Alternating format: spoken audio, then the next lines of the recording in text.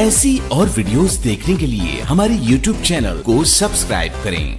बहुत शुक्रिया। बसमीम अच्छा देखें सीआईटी के अंदर बेसिक थी हमारी। बेसिक में आपका कंप्लीट हो गया था मैस पेंट फिर नोट पैड वर्ड पैड भी कंप्लीट हुआ था डेस्कटॉप के राइट क्लिक ऑप्शंस भी, और फिर टास्क बार के राइट क्लिक ऑप्शंस भी कंप्लीट हो गए थे, ठीक है? ये बेसिक का टॉपिक जो है, मैं उसके अपना सीआईटी कोर्स के हवाले से था। बेसिक का ये टॉपिक यहाँ तक कंप्लीट हुआ।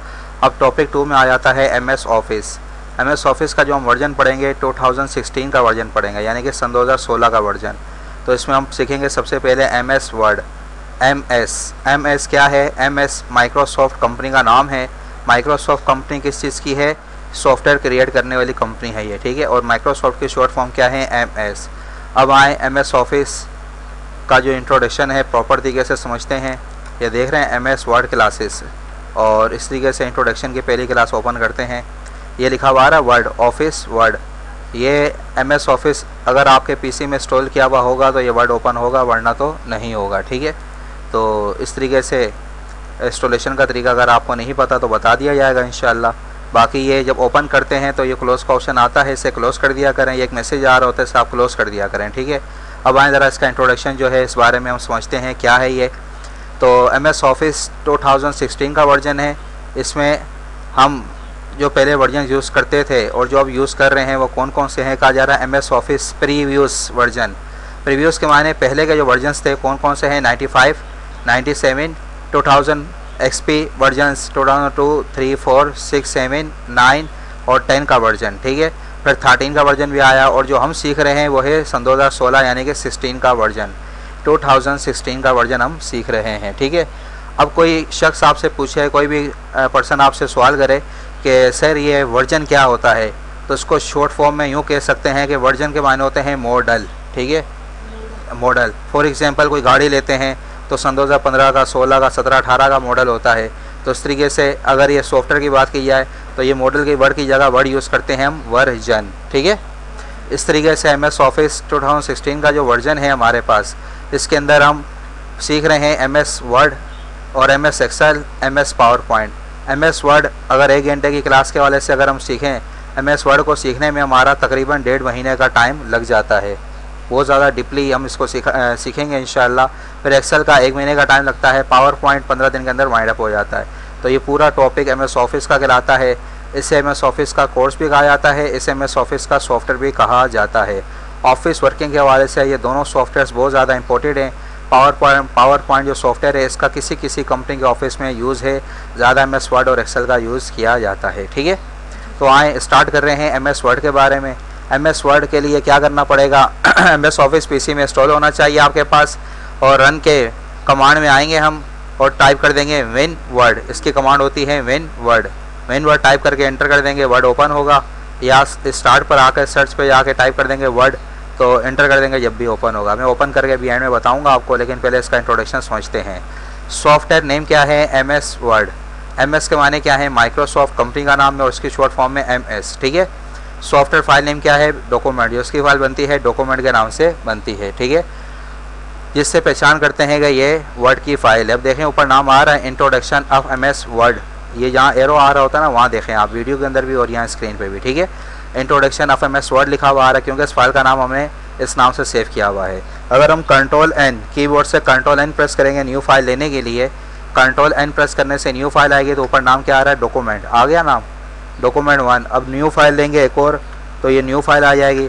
Document two document three again again new files के नेम आते जाएँगे। लेकिन इस तरीके से जब हम सॉफ्टवेयर की कोई न्यू फ़ाइल ओपन करते हैं तो सॉफ्टवेयर उसको एक अपना नाम डॉक्यूमेंट के नाम से दे देता है। Document one two three four again again ठीक है? और फ़ाइल एक्सटेंशन अच्छा जब उस फ़ाइल को किसी नाम से सेव करेंगे, फिर डॉक्यूमेंट के नेम की जगह वो नेम आएगा, जिस नाम से आपने सेव किया होगा, ठीक है? और फ़ाइल एक्सटेंशन शॉर्ट फॉर्म क्या है इसकी? Dot D O C document की शॉर्ट फॉर्म है डॉट डी ओ सी और एक्स के मान होते हैं X P document for Office X P कहलाता है, ठीक है? कहा जा रहा है this software is use for advance text editing इस सॉफ्टवेयर को यूज़ किया जाता है एडवांस टेक्स की एडिटिंग के लिए। एडवांस टेक्स्ट एडिटिंग से मुराद के डिलीट करना ऐड करना कलर चेंज करना साइज़ कम ज़्यादा करना बोले डायलिंग अंडर लाइन वगैरह करना फ़ॉन्ट के स्टाइल चेंज करना, ये सारा एडिटिंग के काम में आ जाता है, ठीक है? और कहा जा रहा है we can make application letter CV memo chart table etc इसके अंदर हम बना सकते हैं मेक के माने बनाना, बना सकते हैं हम। एप्लीकेशन भी टाइप कर सकते हैं लेटर भी सीवी सीवी कहते हैं सर्कुलर मिटाए इसे दूसरे लफ्ज़ों में रेज्यूम कहा जाता है, जिसमें अपना बायोडाटा लिखा जाता है। आगे इसके असाइनमेंट्स आएँगे, उसके बारे में आपको डिटेल से समझाया जाएगा, बताया जाएगा। और इस तरीके से मेमो कहा जाता है मेमोरेंडम को या किसी फ़ाइल होती है कि इसके अंदर बाकी फाइल्स की डिटेल वगैरह टाइप करके हम किसी को प्रिंट करके देते हैं, ठीक है? चार्ट किसी भी टॉपिक से रिलेटेड चार्ट बनाना हो, जैसे इंसर्ट मेन्यू पर आएँ तो ये देखें आपको यहाँ पर ये चार्ट दिख रहे हैं। जब ये टॉपिक आएगा तो फिर हम इस बारे में पढ़ेंगे, इसे चार्ट कहा जाता है। ठीक है, लिखवा रहा चार्ट टाइटल वगैरह। तो खैर, ये चार्ट का जो टॉपिक आएगा, पढ़ेंगे। टेबल जैसे टाइम टेबल वगैरह बनाना हो, देख रहे हैं तो ये टेबल वगैरह कैसे बनेगा? ये जब आगे टॉपिक आएगा, इस पर हम डिस्कस करेंगे डिटेल के साथ। ठीक है? तो ये इस तरह की वर्किंग आप आसानी से एडवांस तरीके से, जितनी एडवांस वर्किंग करनी हो ऑफ़िस वर्किंग के हवाले से एम एस वर्ड में आसानी से कर सकते हैं। क्लियर है यहाँ तक ये? टाइटल बार जो ऊपर का एरिया है, जहाँ पे फ़ाइल का नेम आता है प्लस सॉफ्टवेयर नेम क्या है, जो सॉफ्टवेयर का नाम है वर्ड वो भी हमें दिख रहा है, ठीक है? फ़ाइल का नेम भी दिख रहा है। Quick access tool bar mouse ले जाने पर ये लिखा हुआ आ रहा है customise quick access tool bar कहाँ? ये कोने में देख रहे हैं, इस पॉइंट पर क्लिक करेंगे, लिखा हुआ रहा है customise quick access tool bar लिखा हुआ आ रहा है, किस चीज़ के लिए होता है quick quick access tool bar यानी कि यहाँ पर बटन वगैरह ऐड करने के लिए। पॉइंट पे क्लिक करेंगे न्यू पे चेक लगा हुआ है न्यू का ऑप्शन आ रहा है चेक हटा देंगे, गायब हो जाएगा। यहाँ क्लिक करेंगे, आ जाएगा। इसका फ़ायदा है कि आप क्लिक करने से न्यू फ़ाइल आ जाएगी। देख रही हैं? बाकी इस तरह के और भी बहुत से ऑप्शन दिए हुए हैं। जिस चीज़ पर चेक लगाएँगे, वो चीज़ें यहाँ ऐड होती ऐड होती जाएँगी और उस पर क्लिक करके उस ऑप्शन को आसानी से यूटिलाइज़ कर सकते हैं, ठीक है? Office button regular routine option regular routine के मुताबिक ये बटन आ रहा होता है, कहलाता है ऑफ़िस बटन ये फ़ाइल मेन्यू आ रहा है, इसे ऑफ़िस बटन कहा जाता है। क्लिक करें। न्यू पे क्लिक करेंगे तो ये मुख्तलिफ़ फॉर्मेट आ रहे हैं। ब्लैंक डॉक्यूमेंट यह आ रहा है, इस पर डबल क्लिक कर देंगे। ये न्यू फ़ाइल ओपन हो जाएगी, ठीक है? एक मिनट फ़ाइल पर आए। न्यू पे क्लिक किया। ब्लैंक डॉक्यूमेंट पर डबल क्लिक किया, ये न्यू फ़ाइल ओपन हो गई, ठीक है? इस तरीके से यहाँ पर जाकर कोई काम भी करना जा रहे हैं फ़ाइल पर आएँ। सेव पर क्लिक करें सेव करना चाहते हैं। सेव पर क्लिक करके ब्राउज पर क्लिक करें, कहाँ सेव करनी है फ़ाइल आ जाते हैं ये फ़ाइल डेस्कटॉप पर सेव करना चाह रहे हैं। किसके नाम से? हम जाते हैं फॉर एग्ज़ाम्पल ताहिर सेव पर क्लिक करेंगे, ऊपर कोने पे नाम दिखेगा आपको। ऊपर दिख रहा है, ताहिर फ़ाइल पर आएँ सेफेस पर आएँगे और फिर ब्राउज पर क्लिक करें। डुप्लीकेट कहाँ हम चाहते हैं बनानी है इसकी डेस्कटॉप पर। किसके नाम से हम जाते हैं? ताहिर अली के नाम से।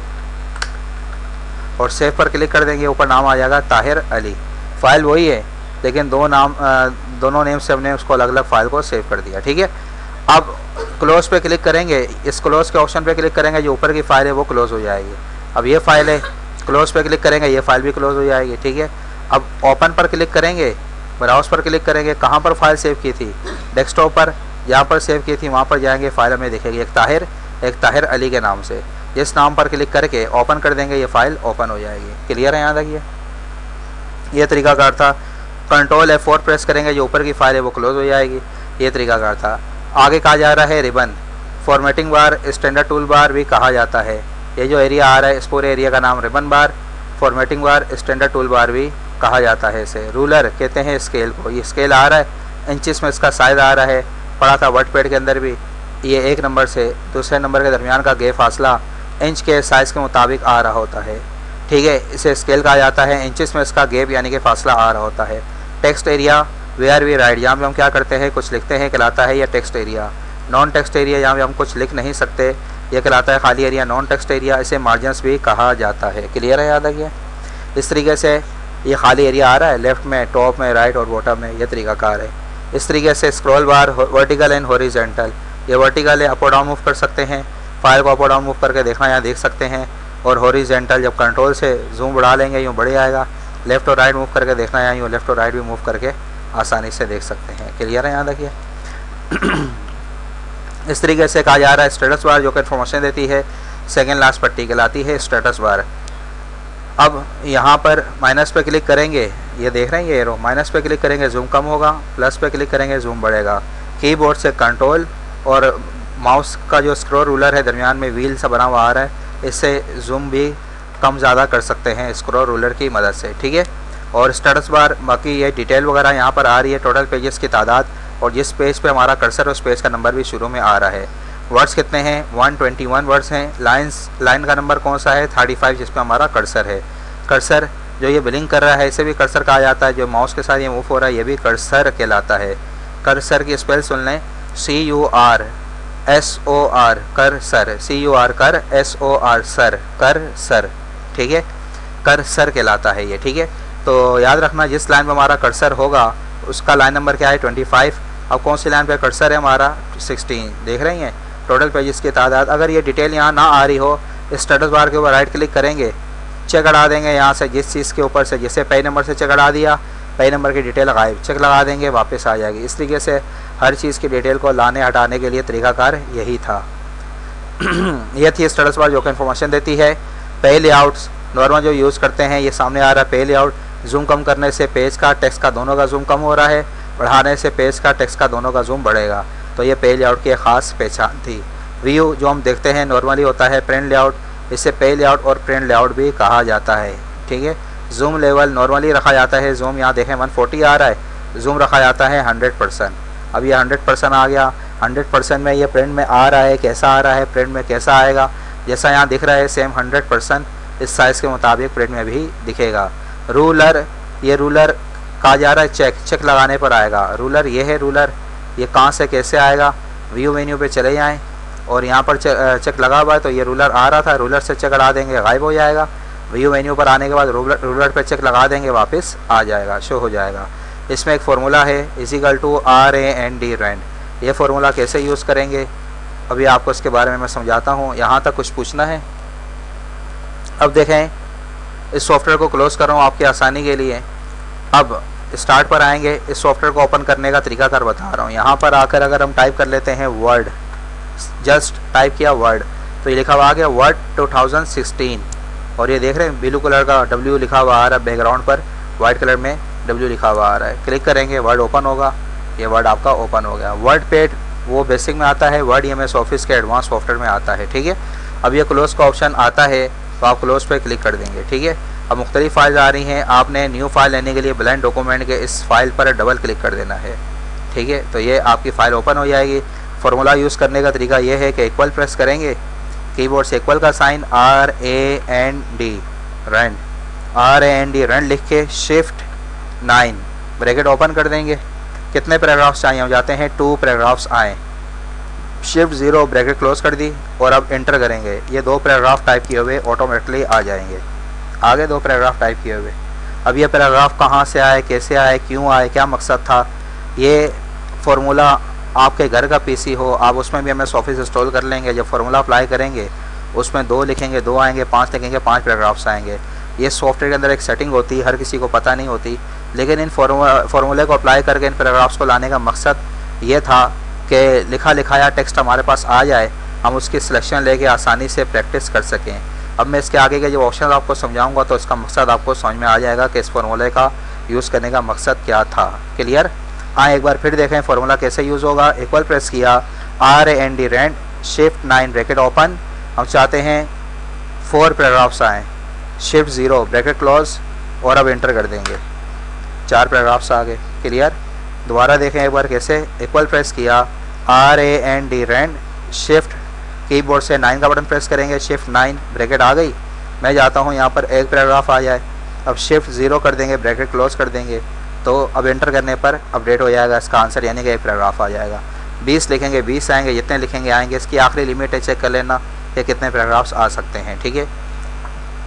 अब बात यह है कि जब ये फार्मूला यूज़ करेंगे तो उसमें एक चीज़ का ख़ास ख्याल रखना है। इक्वल से पहले कुछ लिखा हुआ ना हो, ठीक है? और जिस फार्मूले पर, जिस लाइन पर यह फार्मूला यूज़ करेंगे उस लाइन में कुछ भी लिखा हुआ हो, वो ब्लैंक यानी कि सादी लाइन हो, बेशक ऊपर लिखा हुआ हो, लेकिन इस फार्मूले से पहले कुछ लिखा हुआ हो और उसके दरमियान कहीं भी स्पेस आपने ना दिया हो। कंटिन्यू लिखते आएँगे, जैसे कि equal R A N D rand bracket open close और दरमियान में हमने लिख दिया वन टू जो जो भी लिखना है यहाँ पैराग्राफ और ब्रैकेट क्लोज करके हमने एंटर किया तो ये सामने आंसर आ गया। बात समझ आ गई यहाँ तक? एक बार फिर देख लें फार्मूला कैसे यूज़ हुआ था। Equal R N D rand bracket open और जाते हैं फिफ्टीन पैराग्राफ्स आए ब्रैकेट क्लोज की और एंटर किया या पंद्रह पैराग्राफ्स आ गए। अब स्क्रॉल से अप और डाउन फ़ाइल में आ जा सकते हैं।